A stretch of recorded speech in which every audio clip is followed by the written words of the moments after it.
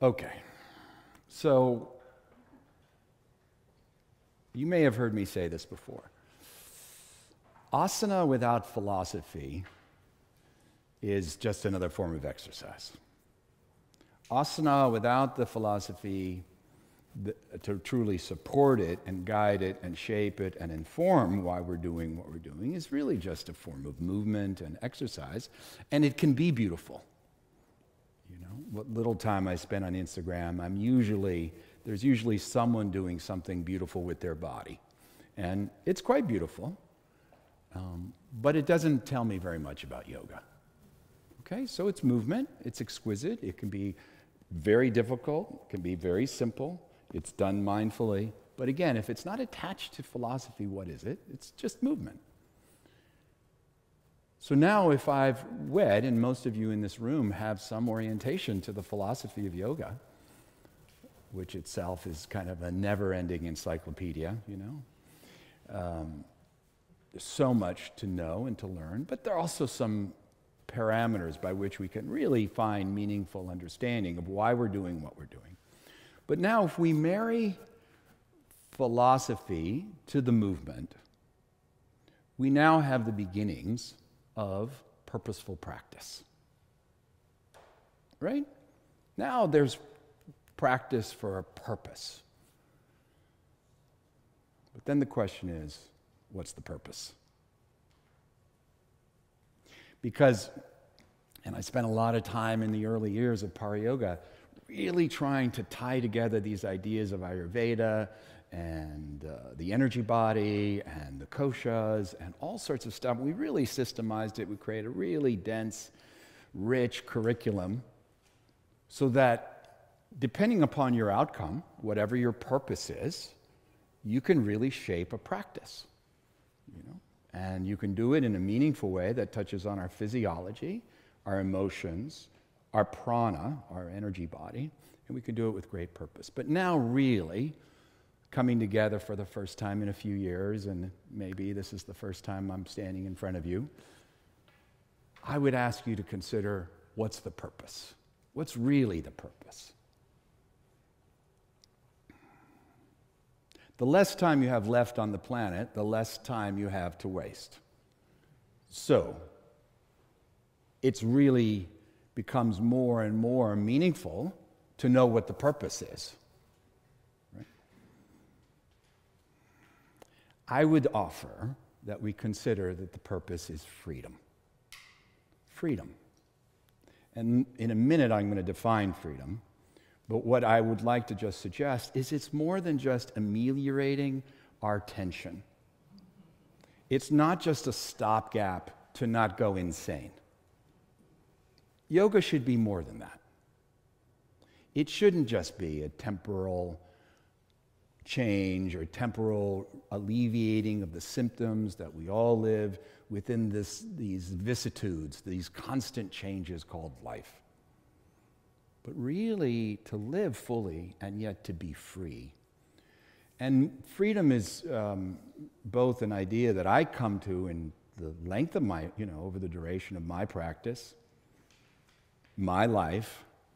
But I would also offer it's not that original because the final, the, the, the end game, as it's pronounced, really explicitly expressed in the yoga tradition, is Kaivalya.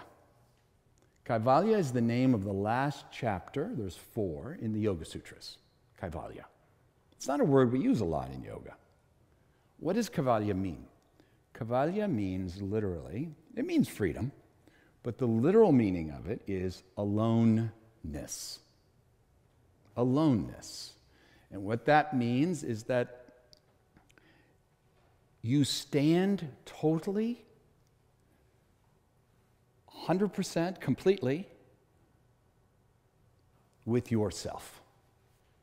And you don't bring any coloring with you. You don't bring any friends, family, planets, uh, society you experience yourself as you are in your totality alone. So that's the way Patanjali describes the outcome of practice. And what does that mean in real terms? Again, I go back to the idea of freedom. freedom. Now, in many ways, I think that there's been a false message in yoga, which is not a false, but just a misunderstanding, or perhaps it's just a convenient misunderstanding. It's very often confused as bliss. Or another form of confusion is transcendence. That if I can just transcend my stuff, then I've achieved the outcome of what potential of yoga is all about. It's all good. I mean, bliss is not bad, bliss is pretty good. But unfortunately, bliss has an opposition. Bliss, there's a polarity to bliss. You probably know it. We probably all know it. Do you know what I'm talking about? It's called misery, right? It's not so complicated. The opposite of bliss is misery. And so bliss actually even to the extent that we can experience bliss and I can I'll make the case you can experience bliss. It's not that complicated really. Just because by virtue of the fact of who we are at a at, the, at a relatively super le- uh, superficial level of the soul, you are bliss. It's bliss is you. It's not the world. It's not the lollipop or the new car or the lover or the this or the that. It's you. You're experiencing yourself when you experience bliss. That's a whole nother lesson, but we're going beyond that. This is like graduate course in yoga this weekend, and yet it isn't.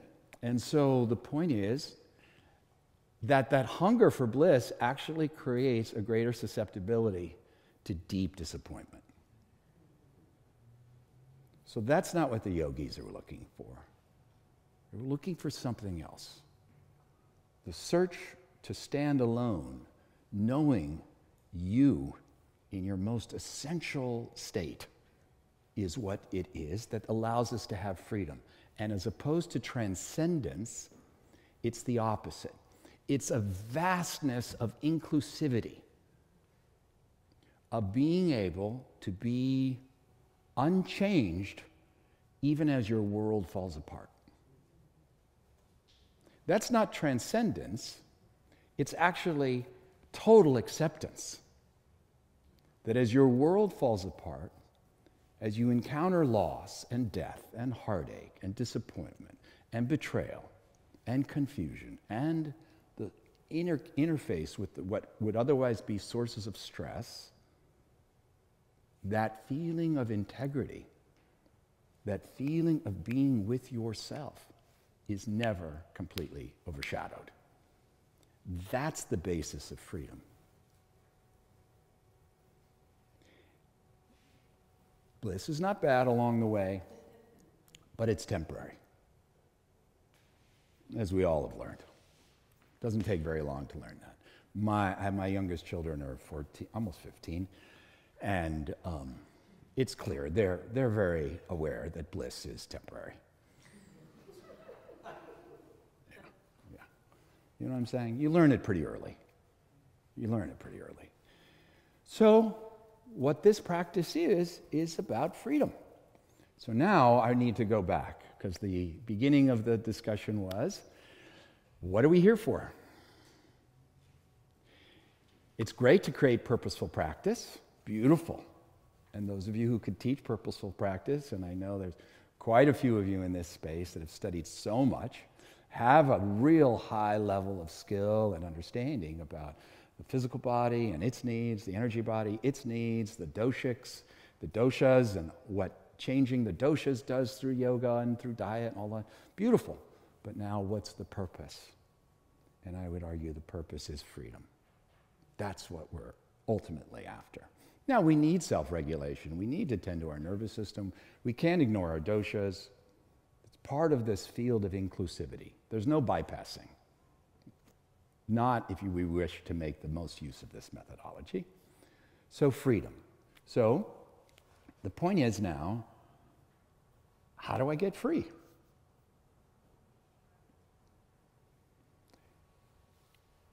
So now we have movement Great. With purpose, but without self inquiry, there's no freedom. Without self inquiry, there's no freedom. So now you have movement, you have skill to, to know where you're going, you have the philosophy, you have the body of knowledge that tells you how to best use your asanas. But without self inquiry, there's no freedom. And self, mm, if you've been around before, you know, we promoted this idea self is both. Study the big S, the soul, the self, interface with that, encounter what we is in the scriptures described as the fire of self knowledge. To know that part of you that is unchanging, that endures, uh, from the Gita, that stands on the sands of eternity. That even as the waves come in and out, that is the flowing nature of our lives and this whole thing of nature and society and relationships and division and conflict and all that. Those are the waves that wash on the shore of eternity, and you stand firm. That is the nature of the soul. And also studying the small s. How each of those little waves laps up at your feet, throws you into a tizzy, throws each of us into a tizzy. Why am I in a tizzy? Based on that little wave, and then that little wave, and then that little wave, and that wave. And some are good, and some are not so good, and some are desirable, and some are not so desirable. And each one sends ripples through my consciousness that then I can't sleep at night. I'm so angry at that person. I'm so in love with that person. And those people are my people, and that those people are not my people. Each of those waves come up and reaffirm our very firm beliefs of what we are and what we're not, and who we like and who we don't like, and what we care for and what we don't care for. I've studied over the last year and a half and learned more about the neurology of tribalism than I've ever known. And unfortunately, we're really hardwired into this tribalistic notions. It's hardwired. Literally to the point that your senses are impacted by it. It's not just your intellect and your emotions. If you went to the University of Michigan, wait, I'm in Illinois. So if you went to Northwestern, if, you're in, if you went to Northwestern versus who's there, who's your arch rival in North, who's football? Who plays? Is it Iowa or Iowa? Okay, does that work? I mean, right? Big Ten. I know that much. It's Big Ten. Can I go Iowa? Okay. So they literally did an experiment with taking a sweatshirt which one of these athletes would wear, then stuffing it into a plastic bag for two weeks, unwrap, oh, and then doing it with uh, Northwestern. We'll say it's Northwestern. It was actually different. I think it was Ohio State and Michigan. That's why I said Michigan. And if you went to Michigan and you opened the bag and the sweatshirt had Michigan on it, you didn't smell anything stinky. This is true. This is true. This is how hardwired these preferences and identities are. Versus if it was the opposite, if it was Iowa, for example, oh my God, this thing smells like a sewer. Imagine that. I was stunned by that. The research shows that you identify and you things smell good or bad or indifferent, just based on your identity. That's how hardwired we are. It's crazy. So those are the little laps of the thing that sends us into our discomfort or comfort. That's not freedom. No matter how long you can stand on your head, no matter how long you can hold your breath, that's not freedom. It's aloneness, is to stand, never is to really rest in that sense of yourself. So the answer is how do you become more free? The, the, the dissolution of duality. It's not as complicated as it sounds, and it's not as esoteric as it sounds, but as long as we have, as long as we are in du- dualism, we'll naturally find division, and there will always be around the corner the next wave of suffering. So we've got to figure out how to end duality, and that's why we're here this weekend. Because the end of duality is in your heart. In your own heart is the end of duality. This is where the teachings describe that there is the merging of our individual self and the higher self or divinity. Because again and again and again, the teachings say that the higher self and divinity are the same thing. The individual self gets, again, a little bit of confusion around individual self. Think about something. How many, how many, I'm just curious. How many of you like scary movies? Can you raise your hand? Don't be embarrassed. It's, it's great. Okay, cool. That's most yoga crowds, you're definitely in the minority. But did you choose to like scary movies? Or did the essence that likes scary movies choose you?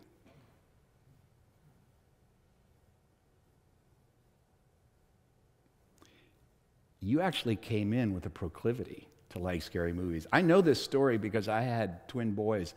My first, my first kids were twin boys.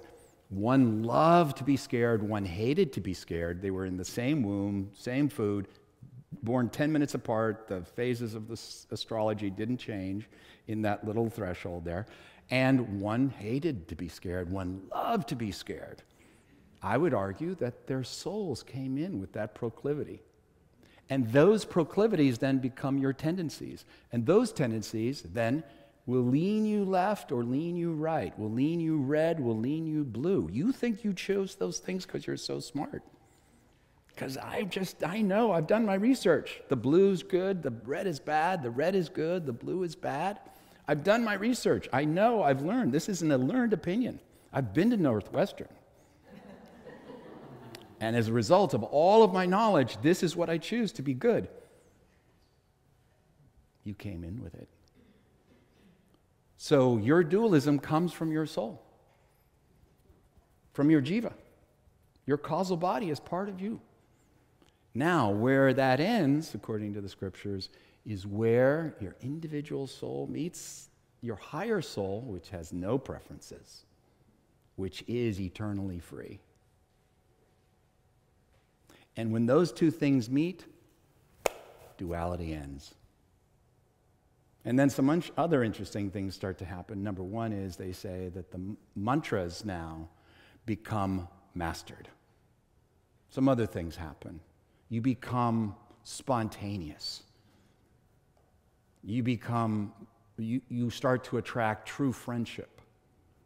Some other th- really wonderful elements, the siddhis of the heart, 14 of them some artistic expression will start to manifest in you. Some really extraordinary things that aren't just so way out there. You begin to understand the true meaning of words, written words and spoken words. So when someone is speaking to you, you're actually seeing what the deeper truth that's behind their words. When you read, you actually see the deeper meaning that's between the lines. So our job then is to access our heart no big deal, provided you're willing to go with self inquiry. Self inquiry. That's what clears the way. Okay, so as, I, as advertised, I described that. Um, I described that uh, we would be working with some key contemplations in the Yoga Sutras We'll do asana, we'll do meditation, we'll do pranayama to support the work. And in essence, what the teachings are going to tell us is that the light of the heart, this merging of self and capital S and small s, that is made possible whenever the darkness, the shadow that overwhelms the heart, is removed. That's basically what they tell us. And they say that there are four things that we need to really pay attention to in order to resolve them. Number one, our animosity. And I get it. I get it. There's a place for anger. There's justifiable anger. At times, anger is actually helpful, it's motivational, it's activating. I get it. But in terms of this, in terms of getting to freedom, you can't take animosity with you. Animosity and the path toward freedom are incompatible. I'm not saying the small s in you has these proclivities and there's things that piss you off. And I'm saying that's okay, but we just don't want it to overshadow. Does that make sense? Because it darkens the heart. And this whole idea that we can actually see where the self and the self meet uh, while we have the darkness of anger and animosity, teachings say, no way, it won't happen. It's one or the other. So the second thing is compassion, or its counter is that cruelty. And it's interesting, cruelty at some level is we think of this as a very overt act, something cruel. And there's some confusion in the yoga tradition because we came up number one, number one, number one, ahimsa, ahimsa, ahimsa. You guys know that word. Himsa means violence, ah means non-violence or without violence. And it just sounds like, well, if I'm not hitting you over the head, you and I are cool. That's not, that's an improper rendering of the whole deal. It's not the, it's not the withholding of violence that is inherently compassionate. Compassionate is an active, engaged expression of love and, and, and, and, and empathy and feeling. So it's not just about not actively harming you, it's actually, if I'm withholding love, I'm actually practicing a form of cruelty.